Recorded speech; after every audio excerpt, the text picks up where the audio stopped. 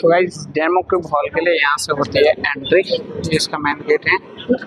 उसके बाद दोनों बूथ है, वो हमको यहाँ से देखने को मिल जाते हैं। एक अराउंड एक टी टी प्लस जो हाई टी से ऑडियो से रहता है। जो आर सी एफ़ और डी के डिस्ट्रीब्यूटर है ऑथराइज डीलर बोल सकते हैं।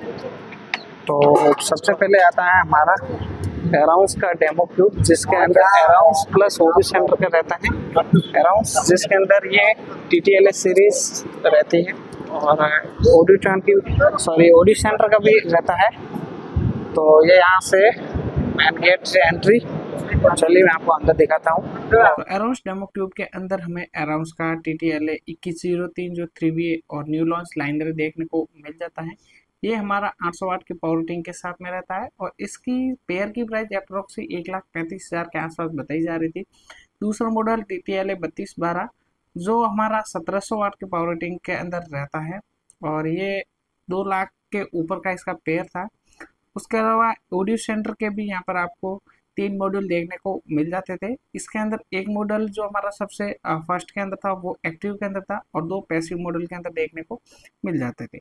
उसके अलावा यहाँ पर अनाउंस के जो सबूफर की बात करें तो न्यू मॉडल के सबूफर यानी एस यू बी आठ सौ अट्ठाईस वी टू जो अट्ठाईस वाट के सबूफर थे, उसके अलावा एक अल्ट्रा बिग डैडी मॉडल से टॉप यूज़ किया गया था, यानी इकतालीस इकतालीस मॉडल से, जो 2000 वाट की पावर रेटिंग के साथ में था और इसका ओपन लुक भी रखा गया था। इसके अंदर तीन एच एफ़ ड्राइवर से यूज़ किए गए थे।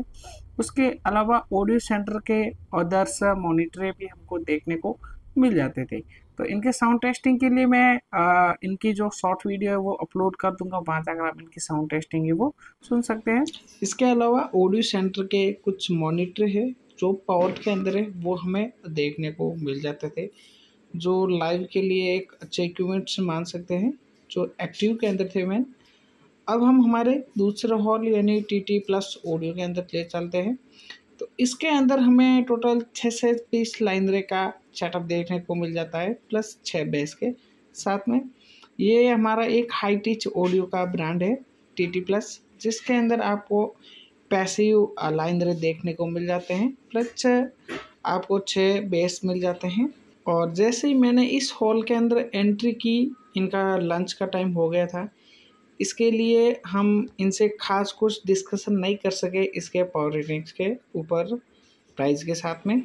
तो इसलिए मुझे इस बार जो प्लाम एक्सपो के डेमो कबे वो दोनों कुछ खास नहीं लगे मज़ा नहीं आया। इनके अंदर साउंड की जो परफॉर्मेंस है वो आउटडोर डेमो के मुकाबले। तो आज के इस वीडियो में इतना ही। आ, मिलते हैं हमारे अगले नेक्स्ट वीडियो के अंदर।